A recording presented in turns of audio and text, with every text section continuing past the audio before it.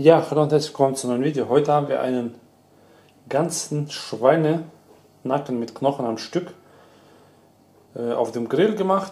Dazu Champignons und Kartoffeln in Rotwein. Ja, wenn ihr sehen wollt, wie ich das gemacht habe, dann bleibt da. Ja, heute werden wir erstmal das Fleisch ja, einlegen, marinieren. Schweinenacken 1,8 Kilo mit Knochen. Ja, dadurch denke ich mal bleibt es saftiger. Mal schauen. Und ich nehme jetzt einen anderen Löffel.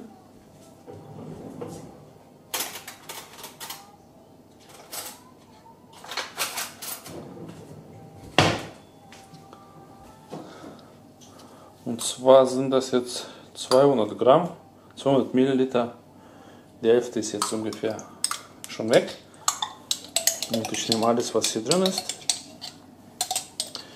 Und ja, das ist jetzt Senf mit Estragon. Habe ich schon mal in einem anderen Video gezeigt. Sehr, sehr gut. Ich finde den sehr lecker. Und hier rein machen wir die vier Knoblauchzehen rein.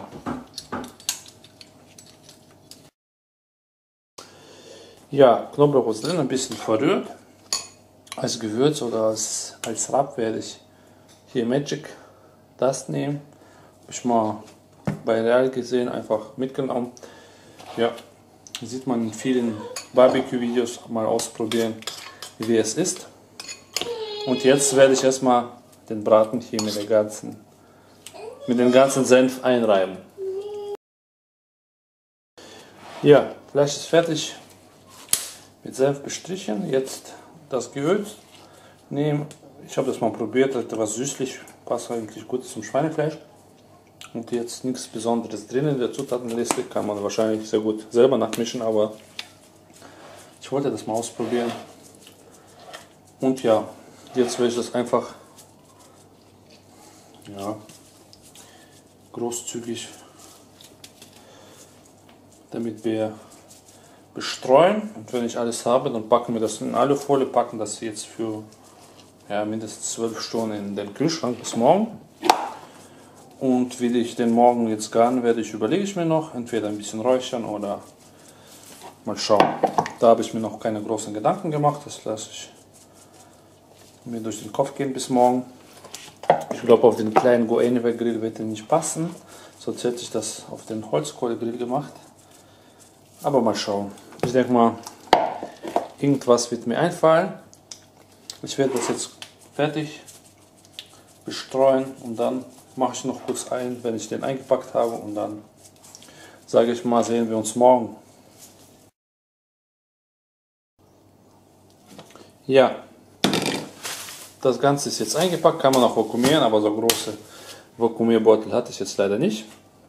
Aber es ist auch nicht wichtig kommt jetzt für mindestens 12 Stunden bei mir, denke ich mal, ganzen Tag in den Kühlschrank und morgen werden wir den grillen. Ja, Tag 2 oder eher gesagt Tag 3 ist heute.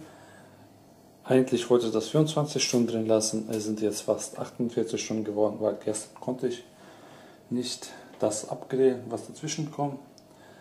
Ist aber jetzt egal, es wird umso besser schmecken. Und dazu mache ich Kartoffelchampignons. Dazu habe ich noch zwei Zwiebeln, paar Knoblauchzehen, Rosmarin, Thymian, Öl, Rotwein für das Fleisch, Salz, Pfeffer und geräucherten Paprikapulver. Und als allererstes würde ich sagen, werden wir das Fleisch ja, in den Grill verfrachten. Das braucht bestimmt so eine Stunde und dann kommt die Kartoffel dazu. Und nach zwei Stunden wird das auf jeden Fall fertig sein. Also los geht's. Ja, hier habe ich ganz normale Aluschale und das ist ein Topf Untersetzer oder für die Pfanne vom Ikea ist aus ja, Alu. Sieht es perfekt, finde ich, für unser Vorhaben. Hier ist der Knochen, also kommt das nach unten. Und ja, das ist schon mal gut. Und so kommt das auf das Gitter und somit liegt unser Braten nicht direkt in der Flüssigkeit, die da runtertropfen wird.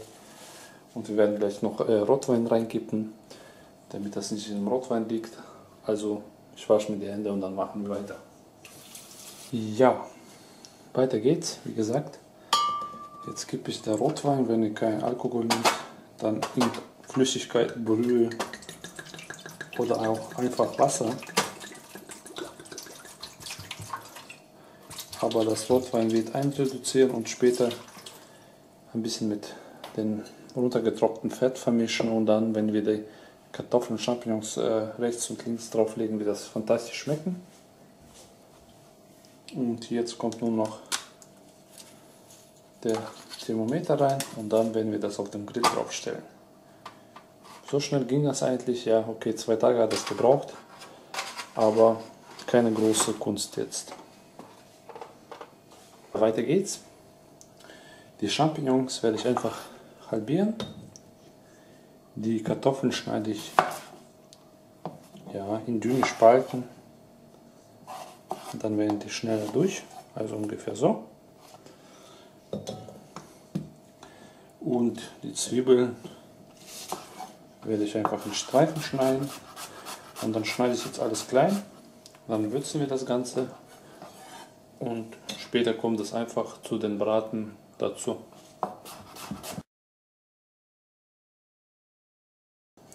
Ja, hier ist unser geschnittenes Zeug.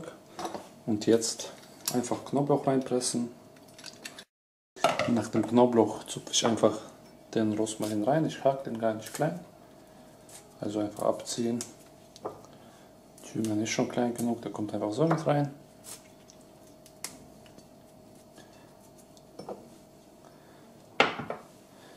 Dann etwas von dem geräucherten Paprikapulver. Ungefähr zwei Esslöffel und natürlich Salz und Pfeffer. Ich gebe noch etwas Öl dazu, dann vermischt sich das alles besser. Aber nicht zu viel, das wird schon in der Soße schwimmen, dann wird das zu fettig. Also Salz und Pfeffer, probieren, ob das gut gewürzt ist und das war es eigentlich.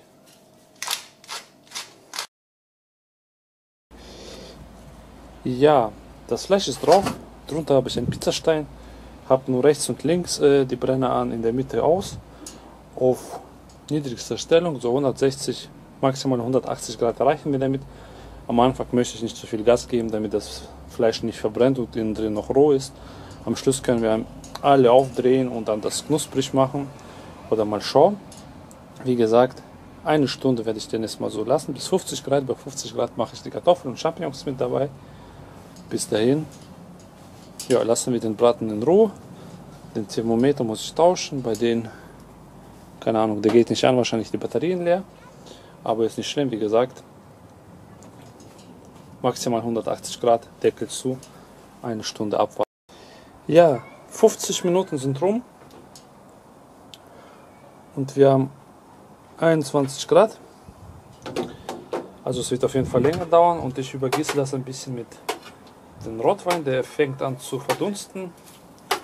Also alles läuft nach Plan. Jetzt werde ich ein bisschen die Temperatur hochdrehen. Minimal, damit wir jetzt ungefähr so 180, 200 Grad hier drin haben. Und lasse das jetzt noch mal eine halbe Stunde in Ruhe und dann werden wir mal schauen, wie viel Grad wir erreicht haben. Ja Leute, das Fleisch sieht doch schon mal gut aus. Hat jetzt 40 Grad und jetzt mache ich schon die Kartoffeln rein. Ich habe das schon ungefähr das vierte Mal ist das jetzt, wo ich das übergieße. Schön mit dem Rotwein hier. Ich habe jetzt alle Brenner an, auch den mittleren, alle auf Minimum. Jetzt haben wir ein bisschen oder brauchen jetzt ein bisschen mehr Hitze, damit das fertig wird. Äh, es ist jetzt eine Stunde 20 vergangen und ja, ich verteile jetzt genau die Hälfte auf einer Seite und dann auf der anderen und zwischendurch werde ich so jede 15, 10 Minuten einmal hier das Ganze mit den Holzlöffel ein bisschen wenden, damit das alles schön von der Soße was abkriegt.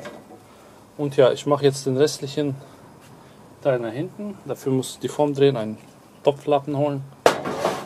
Und wir sehen uns gleich, wenn wir einmal die Kartoffel So sieht das Ganze aus, gar nicht mal so schlecht.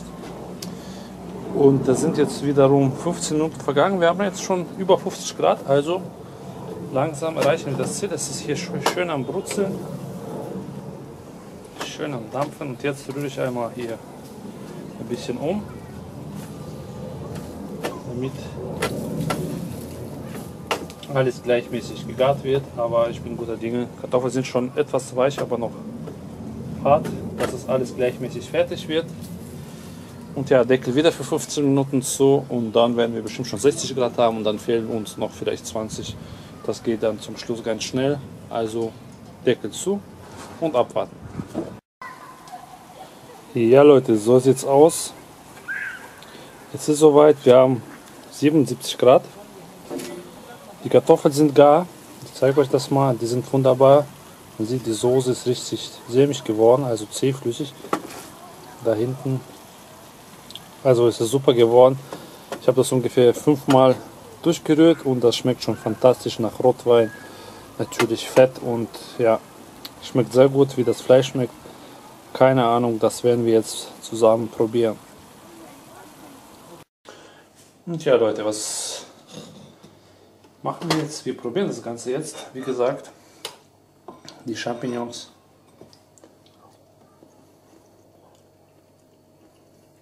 Ein Traum, obwohl die so lange drauf waren, haben die noch Biss und sind etwas knackig. Die Kartoffeln haben wunderbar die Soße aufgesaugt und sind so schon, ja, wie soll ich das so sagen? Probiert es aus. Wenn es euch schmeckt, dann sagt Bescheid. Jetzt würde ich sagen, schneiden wir uns hier mal eine Scheibe ab. Durch ist er, auf jeden Fall. Und natürlich, Schweinenacken ist immer äh, saftig. Und da wir das noch mit Knochen haben, dann das ist recht. Und ich bin Geschmack, äh, gespannt, wie es schmeckt mit dem Rub, da genommen haben.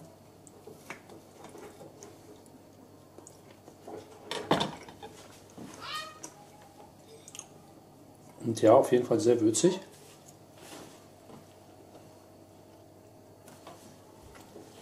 Und ja, ich finde ihn gar nicht mal so schlecht. Leichte Süße, da ist ja brauner Zucker drin. Passt wunderbar zu Schweinefleisch. Es ist gut gewürzt.